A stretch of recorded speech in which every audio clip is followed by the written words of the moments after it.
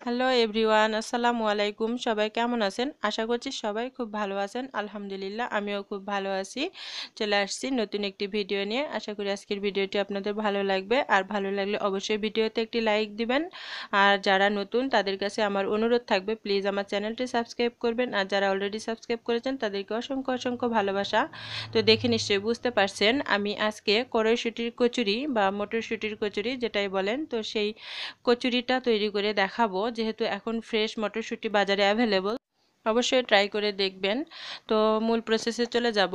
আমি এখানে ফ্রেশ মটরশুঁটি নিয়েছি এক কাপ আর মটরশুঁটিটা ধুয়ে নিয়েছি। এখন এটা ব্লেন্ডারে জারি নিয়ে নিচ্ছি। এটা ব্লেন্ড করে নিতে হবে। পাটায়ও বেটে নেওয়া যাবে। তো আমি দুই ইঞ্চি দিয়ে দিলাম আদা, দিয়ে দিচ্ছি চারটে কাঁচামরিচ, কয়েক কোয়া রসুন আর একটা পেঁয়াজ কুচি করে কেটে দিয়ে দিলাম।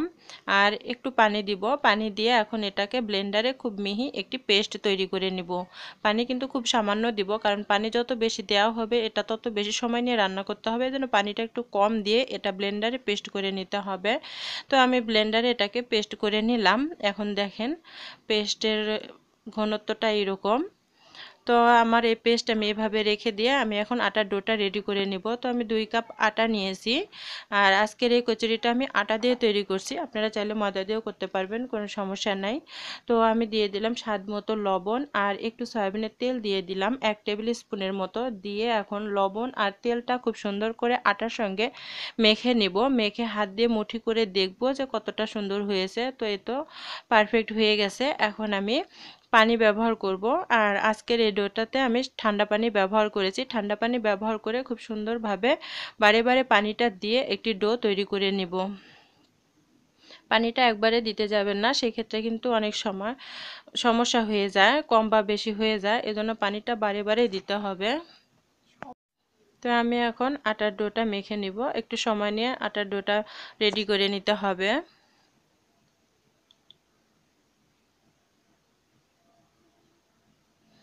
তো আমার আটার ডোটা রেডি করে নেওয়া হয়ে গেছে। এখন আমি এটাকে ঢেকে রেখে দিব। রেখে দিব ততক্ষণ, যতক্ষণ না আমার পুরটা রেডি হয়। আমি এরই ফাঁকে পুরটা রেডি করে নিব। এর মধ্যে কিন্তু আমার আটার ডোটা খুব সুন্দরভাবে সেট হয়ে যাবে। তো চলুন আমি পুরটা রেডি করতে চলে যাব।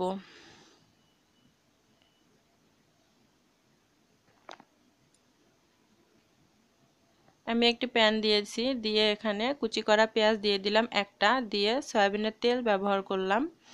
দিয়ে এখন একটু নাড়াচাড়া করে নিব, জাস্ট একটু নাড়াচাড়া করে পেঁয়াজটা যখন হালকা একটু মানে নরম নরম হয়ে আসবে, তো সেই অবস্থাতে আমি এখানে গোটা জিরে ব্যবহার করলাম এক টেবিল স্পুন। দিয়ে একটু নাড়াচাড়া করে নেব। একটু নাড়াচাড়া করে পেঁয়াজটা যখন হালকা একটু ব্রাউন কালার ধারণ করবে, তো সেই অবস্থাতে আমি এখানে হলুদ ব্যবহার করলাম। দিয়ে দিলাম ঝালের জন্য শুকনো মরিচের মরিচের গুঁড়াটা একটু কম দিতে হবে। তার কারণ আমরা ওই দিকে কাঁচা মরিচ দিয়েছি। আর দিয়ে দিয়েছি জিরার গুঁড়া আর দিয়ে দিলাম ধনের গুঁড়া।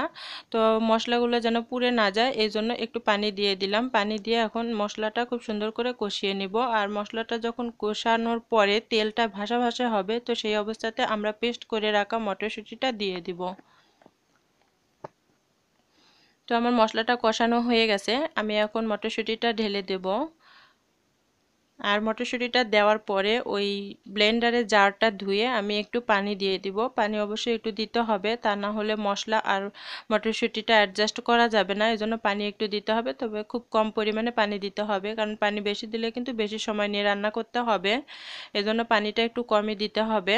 আমি কিন্তু এখনও লবণটা অ্যাড করিনি, এই তো এখন লবণটা দিয়ে দিলাম। সম্পূর্ণ নাড়াচাড়া করার পরে লবণটা দিয়ে দিব।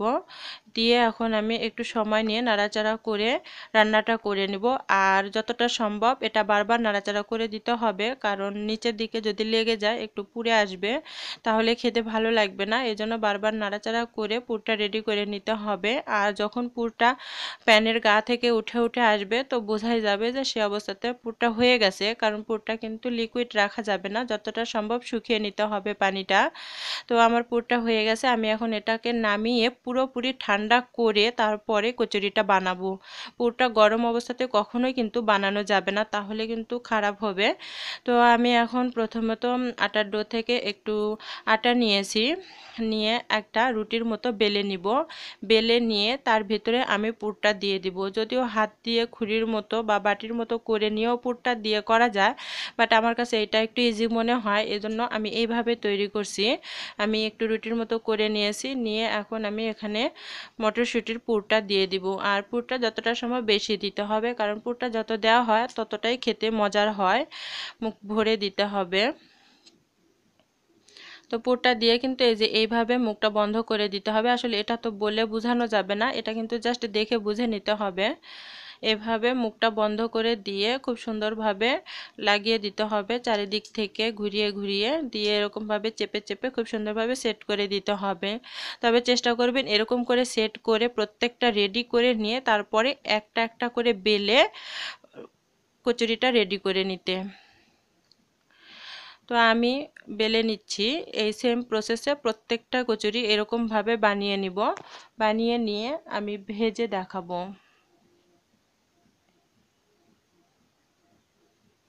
তো আমার কচুরিটা রেডি হয়ে গেছে, আমি এখন ভাজতে চলে আসছি। তো আমি একটি লোহার কড়াই দিয়েছি, দিয়ে আমি এখানে পরিমাণ মতো সয়াবিনের তেল দিয়ে দিলাম, দিয়ে আমি তেলটা গরম করে নিব। হাত দিয়ে চেক করে নিলাম যে তেলটা গরম হয়েছে কিনা।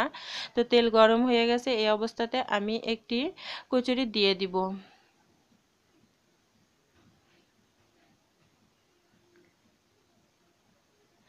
আর এই কড়াইশুটির কচুরিটা কিন্তু অবশ্যই ডুবো তেলে ভাজতে হবে। এটা কিন্তু অল্প তেলে ভাজলে সেটা খুব একটা ভালো হবে না বা খেতেও ভালো হবে না, দেখতেও ভালো হবে না। অবশ্যই ডুবো তেলে ভেজে নিতে হবে। আর যখন চারিদিক থেকে একটু করে তেল ছড়িয়ে দেওয়া হয়, তাহলে কিন্তু খুব দ্রুত এই পুরিটা বা কচুরিটা ফুলে আসে। আর যখন একদিকে ফুলে, ওই ফুলা দিকে একটু চেপে চেপে ধরলে কিন্তু বাকি সাইডটাও কিন্তু ফুলে যায়। সেম প্রসেসে প্রত্যেকটা পুরি কিন্তু আমি ভেজে নিব। আপনারা এইভাবেই ভেজে নেবেন। যখন একদিকে যে কোনো একটা সাইডে ফুলে আসবে, তো ওই সাইডটা চেপে চেপে দিলে কিন্তু বাকি সাইডটা অটোমেটিক ফুলে আসে। যদি না ফুলে, আর প্রথম অবস্থায় ফুলে গেলে তো গেলই, কোনো সমস্যা নাই। আর তাছাড়া উপর দিক থেকে একটু করে তেল ছড়িয়ে দিতে হয় তাহলে খুব সুন্দরভাবে ফুলে ওঠে। তো আমি একটু ভালো করে কালারটা ব্রাউন করে ভেজে নেব, খুব সুন্দরভাবে ভাজবো, একটু বেশি করে ভেজে নেব। আপনারা চাইলে খুব হালকা মানে বেশি নরম করতে চাইলে হালকা কালার থাকতে নামিয়ে নিতে হবে। যেহেতু আমি একটু ব্রাউন করে ভেজে নিচ্ছি, এটা একটু মুসমুসে টাইপের হবে এই জন্য তো ওইভাবে আমি সেমভাবে সবগুলো ভেজে পরিবেশন করে দিয়ে দিলাম। এই তো আমার কড়াইশুটির কচুরি রেডি হয়ে গেছে। আর এই কড়াইশুটির কচুরি খেতে কিন্তু এক্সট্রা কোনো কিছু দিতে হয় না। যেহেতু কচুরির ভিতরে আমরা সব ধরনের মশলা দিয়েছি এবং কচুরির যে পুরটা, এই পুরটা কিন্তু খেতে অনেক মজার হয়। আর এই কারণে এই কচুরিটা খেতে কিন্তু অসাধারণ হয়। দেখেন আমি একটা ভেঙে দেখিয়ে দিচ্ছি যে ভিতরে পুরটা কত দূর পর্যন্ত গিয়েছে আর কীভাবে ছড়িয়ে গেছে। কড়াইশুটির কচুরি কিন্তু খেতে অসাধারণ হয়। অবশ্যই একদিন ট্রাই করে দেখবেন ইনশাল্লাহ ভালো লাগবে। আর প্লিজ আপনাদের কাছে অনুরোধ থাকবে, আমার চ্যানেলটি সাবস্ক্রাইব করবেন সাবস্ক্রাইব করে আমার সাথেই থাকবেন। আর ভিডিওতে প্লিজ একটি লাইক দিবেন। আর যদি বেশি ভালো লেগে থাকে তাহলে ফ্রেন্ডস অ্যান্ড ফ্যামিলির সঙ্গে শেয়ার করবেন। তো আজকে আর নয়, এখানেই শেষ। সবাই ভালো থাকবেন, সুস্থ থাকবেন। সবার সুস্থতা কামনা করে আল্লাহ হাফেজ।